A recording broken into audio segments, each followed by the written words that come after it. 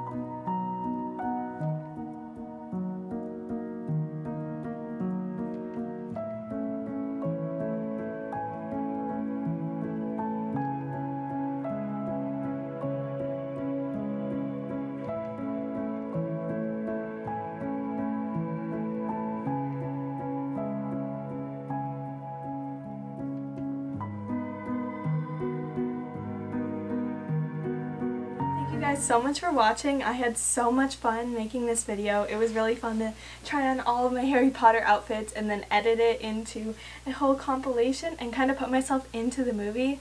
It was really, really challenging also, so I hope you enjoyed it. Make sure to like this video if you enjoyed it and subscribe for more Harry Potter videos. Also check out all my other Harry Potter videos. Alright, bye!